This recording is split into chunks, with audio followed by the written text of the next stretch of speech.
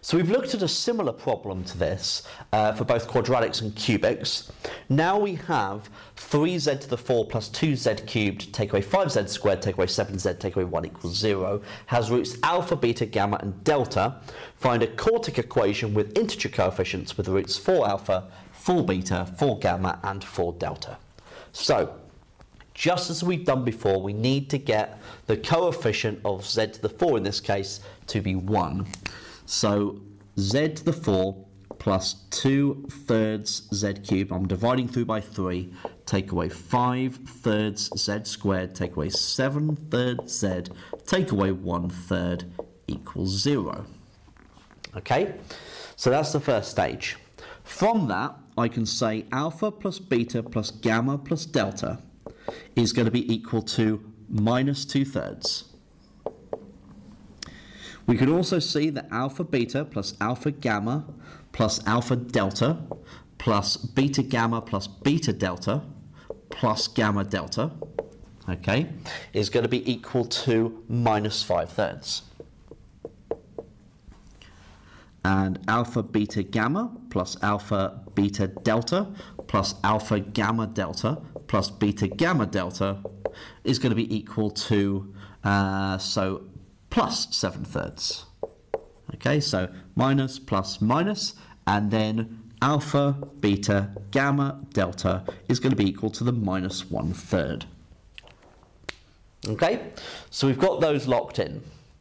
So now we're going to need, because we're looking at 4 alpha, 4 beta, 4 gamma, 4 delta, we need the sum of those four roots. So 4 alpha plus 4 beta plus 4 gamma plus 4 delta which is just four lots of alpha plus beta plus gamma plus delta. Okay, so that's four lots of minus two thirds, which is minus eight thirds. Okay, so that's the first one locked in. Right, then we're going to have uh, 4 alpha times 4 beta, so 16 alpha beta. Then 16 alpha gamma plus 16 alpha delta plus uh, 16 beta gamma plus 16 beta delta plus uh, 16 uh, where are we up to? Uh, so we've got alpha beta, alpha gamma, alpha delta, beta gamma, beta delta, and then gamma delta, isn't it? I'll just pop it there. 16 gamma delta. 1, 2, 3, 4, 5, 6. Yeah, that's right, isn't it?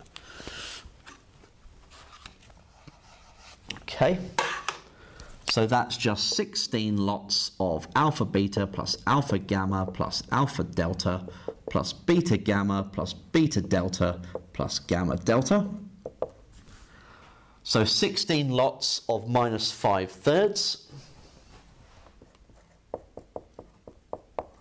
which is minus 80 thirds. Okay, right, next one we're going to have 4 times 4 times 4, which is 64. So 64 alpha, beta, gamma, plus 64 alpha, beta, delta, plus 64 alpha, gamma, delta, plus 64 uh, beta, gamma, delta. So that's 64 lots of alpha, beta, gamma, plus alpha, beta, delta, plus alpha, gamma, delta, plus beta, gamma, delta. And that was 7 thirds, so 64 lots of 7 thirds. Hmm, not sure I know that one off the top of my head. 64 sevenths, so uh, 64 seven times 7 is 448, so we've got 448 over 3. And then finally, the product of the four roots. So uh, we've got 4 alpha times 4 beta times 4 gamma times 4 delta. So what's that? So 4 to the power of 4, so 256. 256 alpha, beta, gamma, delta. So 256 times by minus one third. So that's minus 256 over 3. Right, so my new quartic equation will be z to the 4. Take away minus 8 thirds z cubed. So plus 8 thirds z cubed. Plus minus 80 thirds z squared. So take away 80 thirds z squared. Take away 448 over 3z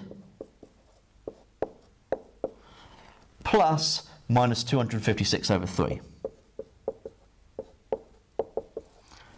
Now I need to multiply through by 3 to get the integer coefficients. So 3z to the 4 plus 8z cubed, take away 80z squared, take away 448z, take away 256 equals 0.